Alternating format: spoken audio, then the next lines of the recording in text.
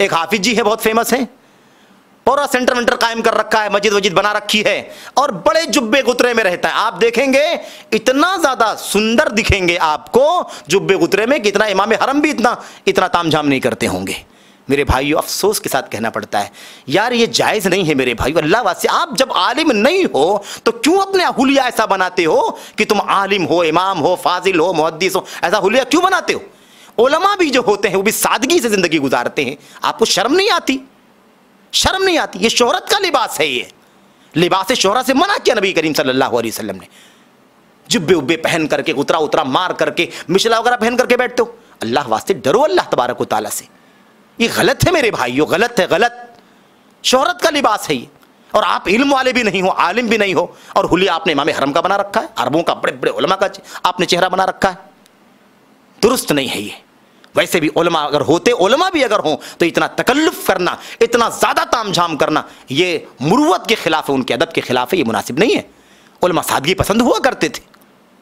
मेरे भाइयों, बहरहाल, आपको मैंने इशारा कर दिया इससे पहले कि कोरोना के इस मसले में पिछले साल से इक्कीस साल तक उम्मत के किबार उलमा ने फैसला किया कि मस्जिदों को बंद करने में कोई हरज नहीं, जायज़ है। मसलहत है उम्मत की खैर खाही है ये।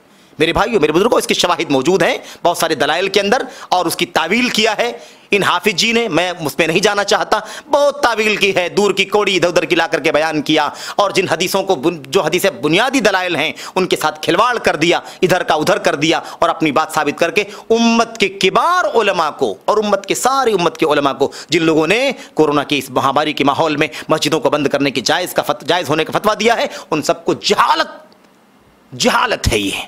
जाहिल करार दिया है। अस्तगफिरुल्लाह, इस कदर जुर्म, इस कदर जुर्म उम्मत के उलमा के सिलसिले में। अच्छा और यही एक मिसाल मैं और आपको बताऊँ। इसी कोरोना के माहौल में अल्लाह के नबी सलाम की सही मुस्लिम वगैरह की बुखारी की हदीस पढ़ डाली। एक हदीस पढ़ी, सही बुखारी की रिवायत है औ बिन मालिक की रिवायत है, और भी जगहों पर है यह रिवायत। उसकी हदीस पढ़ा, उसके अंदर यह बयान फरमाया कि अल्लाह के नबी सलाम ने बयान फरमाया था कि क़्यामत से पहले छः चीज़ों को शुमार करो। यानी छः निशानी अल्लाह के नबी सलाम ने बयान फरमाई। पहली बात कहा, अल्लाह के नबी ने मेरी मौत। एक तो क्यामत से पहले एक अलामत यह कि मेरी मौत हो जाएगी। दूसरी बात अल्लाह के नबी ने फरमाया, फ़तेह बैतुलमक़दिस बैतुलमक़दिस फ़तेह किया जाएगा। उसके बाद अल्लाह के नबी ने फरमाया, सुम्मा मुतान या खुदफ़ीकुम का क्वासिल गनम। मुतान या मवतान। मुतान या मवतान, दो तरह के अल्फाज हैं। याद रखो, ये मौतान नहीं है। मौत के माने मौत के होते हैं, उसकी तस्निया है मौतानी। मौतानी, रजुलानी, किताबानी, कुर्रासतानी कलमानी। मेरे भाइयों, सब लोग जानते हैं तस्निया। ये है। अब आप सोचिए, वीडियो आप जब देखेंगे तो आपको क्या मिलेगा मालूम? आपको मिलेगा कि पेशीन गोई फरमाई है नबी करीम सल्लल्लाहु अलैहि वसल्लम ने। उसमें कोरोना की तरफ़ इशारा है। और आपने फरमाया था कि एक वक्त मेरी उम्मत पर आएगा, जब दो दो मौके, मौतें वाक़ होंगी। दो दो मौतें? ये क्या है? दो मौतें क्या है भाई मेरे? अमत तरस नतईनी वाह तनस नतईनी अल्लाह तुरे हमें दो मरतबा मौत दी दो मरतबा ज़िंदगी तो कुरान की आयत में भाई हमारा वजूद हुआ तो पहले हम आदम में थे आदम में थे आदम से निकले वजूद में आए तो एक मौत की ज़िंदगी हो गई फिर मौत होगी और फिर उसके बाद फिर बास होगा तो दो मौतें दो ज़िंदगी तो ठीक ही है लेकिन एक वक्त आएगा कि दो मौतें होंगी अरे अजीब बात है दो मौतें कहाँ से आ गई भाई ये मौतान नहीं है और जबान से हाफिज जी पढ़ते भी है मऊता मुतानुन मऊतानुन अस्तगफिरुल्लाह। और तर्जमा करते दो मौतें। ये क्या है भाई?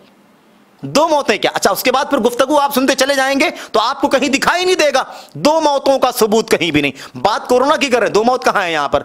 बात कर रहे हैं, बहुत मौतें होंगी, बहुत मौतें होंगी, बहुत मौतें होंगी। और हदीस क्या पढ़ा? दो मौतें होंगी। तर्जमा कर दिया, दो मौतें होंगी। मुतान मौतान पढ़ भी रहे तनवीन के साथ। और उसके बाद हदीस में लिखी हुई तनवीन पढ़ भी रहे, और तर्जमा करते दो मौतें। अस्तगफिरुल्लाह। क्या है ये?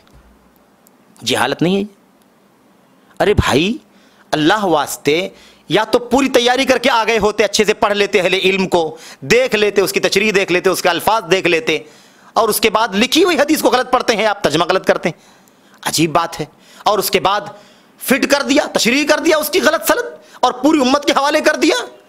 किस उम्मत के आलिम ने इस हदीस को पेश किया है, और कहा है कि इससे मुराद कोरोना है?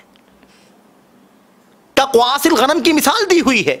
मेरे भाइयों, क्वासिल गनम में जो मौतें होंगी जिसके तरफ़ इशारा किया शारहीन ने वजाहत की है, वो मौतें ऐसी नहीं होंगी। आज हिंदुस्तान के अंदर, ठीक है, डेढ़ लाख, दो लाख, ढाई लाख की मौत हो गई, ठीक है। पूरे हिंदुस्तान का सर्वे आप करेंगे 130 35 करोड़ 40 करोड़ में अगर मिसाल के तौर पर डेढ़ लाख, दो लाख, ढाई लाख की मौत भी हो गई तो क्या ये कसरत मौत है ये? कसरत मौत है? जब ये ककवासिल गनम वाली जो बात है तो पूरा का पूरा रेवड़ मर जाता था, इक्का दुक्का जीते थे, वरना सब मर जाते थे, और धीरे धीरे वो भी मर जाते थे। कहाँ से आपने उठा इसको फिट कर दिया? और फिट करने के बाद सारी उम्मत के हवाले कर दिया कि सारे उलमा ने उलमा ने तशरी की है? किस आलिम ने कहा है कि ये जो हदीस है, ये कोरोना के माहौल के लिए फिट की गई? मेरे भाइयों, कितने लोगों की मौत हुई है? पूरी दुनिया का सर्वे आप कर लीजिए। क्या कसरत मौत है ये? एक लाख में क्या साठ हज़ार लोगों की मौत है ये? सत्तर हज़ार लोगों की मौत है? कैसे आप फिट कर सकते हैं इसको? हाँ आप ये कहिए कसरत मौत की तरफ़। आपने दो मौतें कह दिया। अफसोस के साथ मुझे कहना पड़ता अल्लाह वास्ते मेरे भाइयों, क्यों जग हसाई करते हो? और मैं ये बात इसलिए कह रहा हूँ क्योंकि सारी दुनिया में आम है ये। आपका तो चैनल है, आपका तो सारा निज़ाम है, सिस्टम है मीडिया का, और आप बहुत तेज़ी के साथ इसको वायरल करते हैं। सारी दुनिया में फैला हुआ है। हमारे किबार उलमा भी अलहमदिल्ला इस पर रद्द किया है, जवाब दिया है इसका। अल्लाह उनको जजाय खैर अता फरमाए। मैंने वो भी सुना है इतफाक़ से किसी ने मुझे वो भी भेजा। अल्लाह उनको जजाय खैर अता फरमाए। शेख अशफाक सलफ़ी साहब, अल्लाह उनको सेहत अता फ़रमाए और अल्लाह जल सेहत व आफ़ियत के साथ उनकी ज़िंदगी दराज फरमाए, उम्मत को उनसे खूब फ़ायदा उठाने की तोफ़ी बख्शे। आमीन रबालमीन लेकिन अफसोस, आज भी वीडियो मौजूद है, वायरल हो रही है, यूट्यूब पर नशर है और न जाने कहाँ कहाँ नशर हो चुकी है। जहालत का आलम यह है कि आदमी जरी हो जाता है, इल्म वाले से गलती हो जाए तो वो मुतवाज़ होता है। वो जल्दी से उसको ख़त्म करने की कोशिश करता है, लेकिन ये ये जरी हो जाते हैं। पॉपुलर हैं, बदनामी हो जाएगी, चलने दो ऐसे। फिर धीरे धीरे लोग भूल जाएँगे, कोई बात नहीं, नया मसला आ जाएगा। अस्तफ़िर